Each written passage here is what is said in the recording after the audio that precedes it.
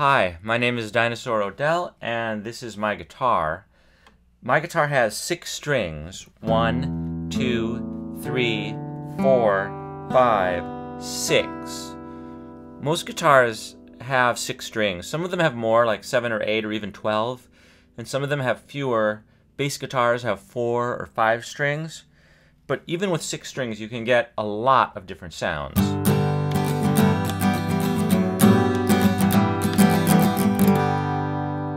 That's called strumming.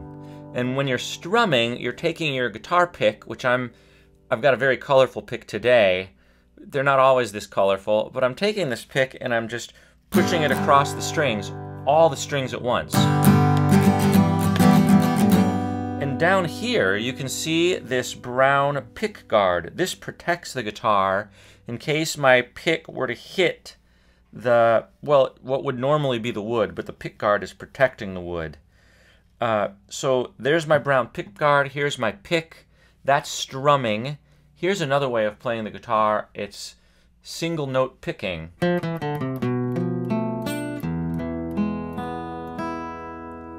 And then the other way that I like to play is combining strumming and picking at the same time.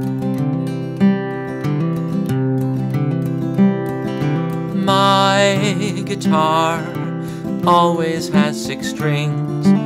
I love to hear them ring when I pick the notes and sing along a lovely song.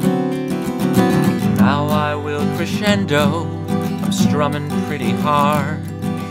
I am glad this six string has a brown pick guard.